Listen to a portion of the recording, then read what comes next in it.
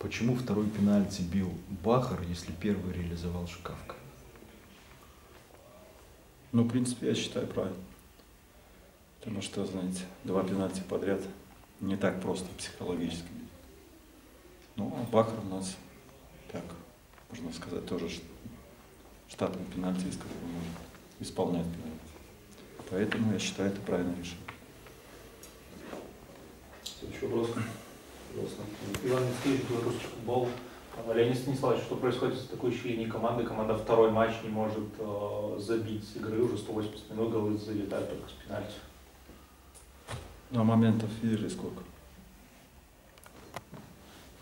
Моменты даже, ну, там, Андрея Бацулу, кажется, уже некуда мячу деваться. Это исполнительское мастерство. Моментов, как бы, если взять первый тайм и второй, который нужно реализовывать, и, скажем так, те подходы в атаке, которые нужно тоже реализовывать. Ну, и, естественно, мы работаем над этим качественно. Я считаю, довольно-таки много. Но я думаю, сдвинем, сдвинем с этой точки. Неприятно. Следующий вопрос. Давайте я тоже спрошу, сейчас вот две победы подряд у вас, хотя до этого была такая неудачная серия. А что появилось сейчас, то, чего не было тогда? Надо ли понимать, что вот, знаете, как говорят, э, команда играет так, как позволяет соперник? Ну, мы играем так, позволяет соперник. Да, да.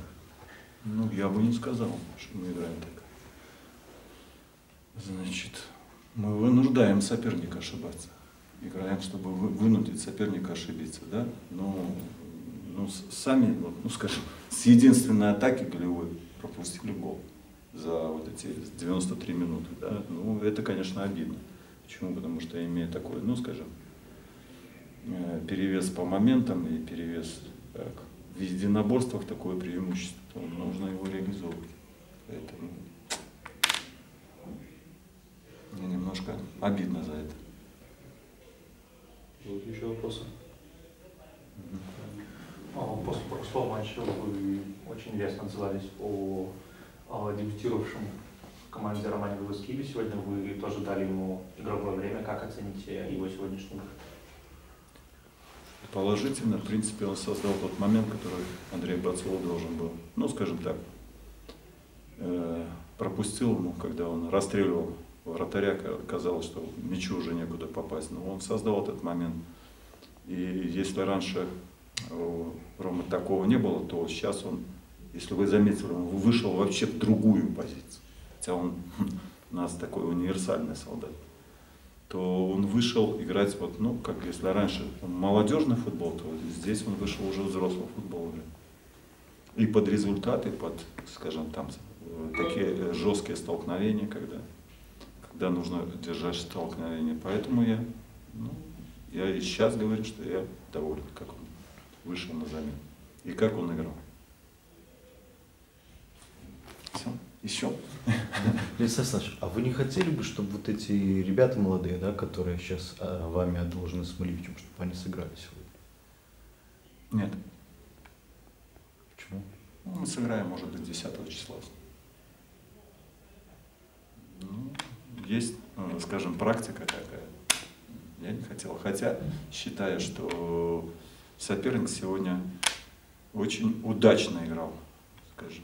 Ну, скажем, если не считать там, что ну, во втором тайме удачно за счет, э, скажем, опытных игроков, не за счет молодых, за счет опытных игроков. Удачно играл. Нам есть моменты, когда нам не удавалось накрыть соперника и нас разворачивают. Поэтому нет, не хотел. Обычно такая, но у меня, знаете, в практике это было 1976, по-моему, год. И такой два э, сборника Советского Союза молодежной сборной. Ну, поцеловались там, пообнимались перед игрой, потом один второго ломает, друг, ну, как друзья, да, именно друг другу не уступают.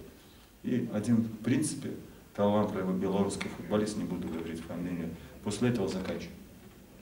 Да? Топлияда Игорь Гуринович, там, Головни Саш, как вот так все.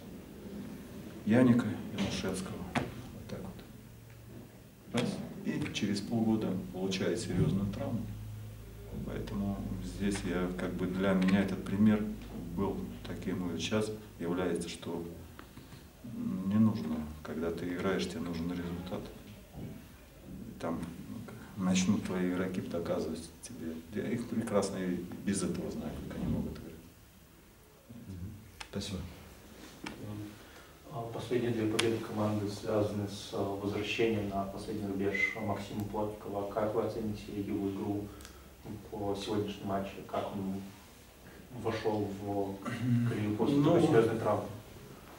Ну, были сомнения даже накануне этой игры. Почему? Потому что там у него было очень сильное воспаление ну, как бы на ноге, да, и пришлось применять, как говорят, средства, чтобы погасить. За день до игры еще не было ясно, будет, сможет ли он играть, не сможет. Ну, смог и, в принципе, сыграл очень хорошо. В принципе, хотя таких моментов, опять же, там, э, взятие ворот, ну, тут уже как накроешь, не накроешь, да. Тяжело говорить, а так спокойно, надежно. Никаких вопросов. Вопросов больше нет? Спасибо большое. Все, спасибо. Спасибо. До свидания.